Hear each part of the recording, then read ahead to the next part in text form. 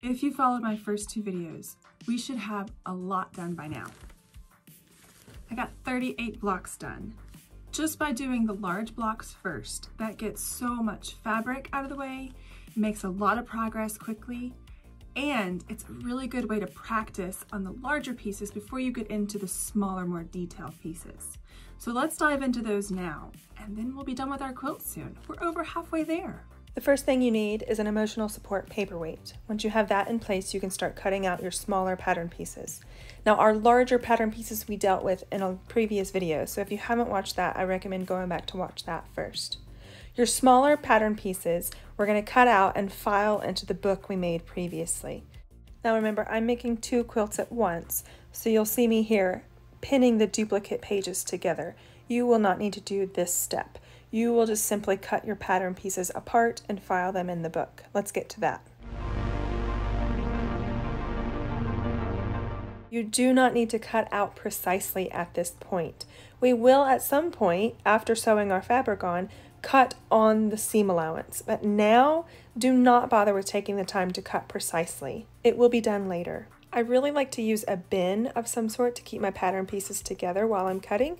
So I love these scrapbooking bins. They're clear, they snap tight, and I can just throw everything in there while I'm cutting and then organize from there. That was a lot of cutting, but now that we're done, we can go back to our book and start filing. So you'll just pick up your pattern piece one at a time, find the number one position, and file it accordingly. The kits come with diagrams of the full finished quilt. You can see it here that's actually flipped open, and I love using that to mark off my completed blocks. You can see the progress we've made so far by completing the largest blocks first, and then moving on to the smaller ones, but this is a lot of blocks we completed already. Okay, I think you get the idea here. I'm going to continue to file all of my pieces, and I really want to work through all of my pieces at the same time.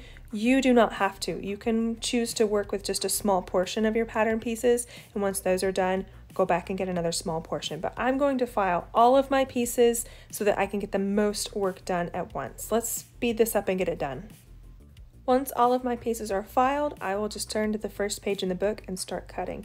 Now I did cover the cutting process for the larger pieces in the previous video, so if you haven't watched that, I do recommend going back and watching that, or if you have any questions, don't hesitate to ask. I love the quick progress this makes because when you file your pieces, you get a bunch of pieces on one page and it just makes it so quick to cut that fabric for those pieces. Once all of my positions one and two fabrics are cut, I will take them to the sewing machine and sew those. Once one and two is sewn, I will trim and iron all in big piles. And again, it's completely up to you how much of an assembly line you want to make out of this, or if you just want to handle it a pile at a time, that's perfectly okay.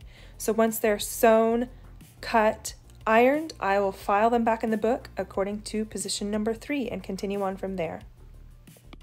As I complete my sections, I add them to a binder where I've put the assembly guide. So each assembly guide gets a page and I can just add the tiny pieces onto that page so I don't worry about losing anything. You may have noticed my sections are not trimmed on the seam allowance at this point. We'll take care of that in a later step.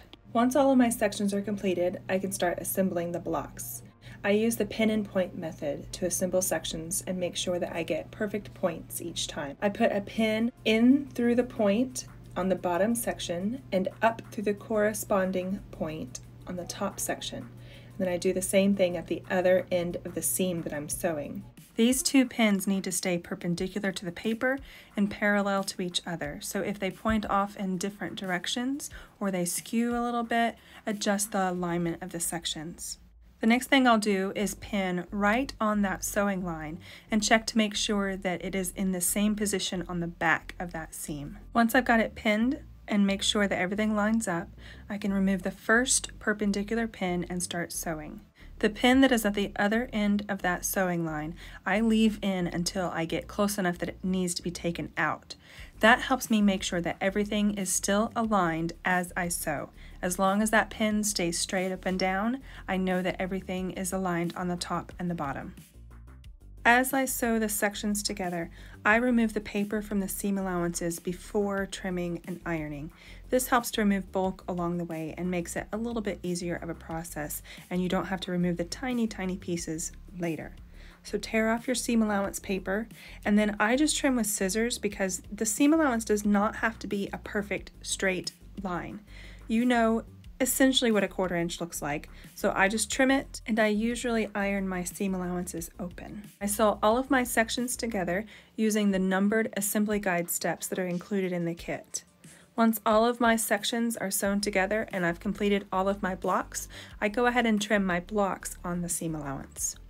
Then I assemble my blocks using the pin and point method again.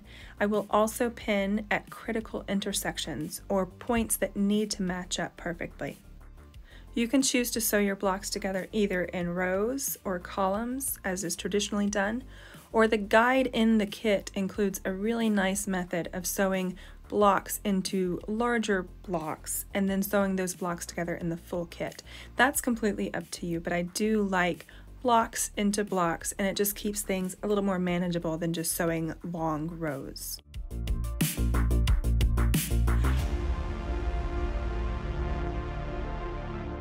While removing paper from the seam allowances, tweezers can be a very helpful tool to get any small little pieces of paper out of hard to reach areas. I also like to tear the paper from any sharp points so that when I iron open later, I don't have to worry about pulling that sharp point of paper out from under the seam allowance.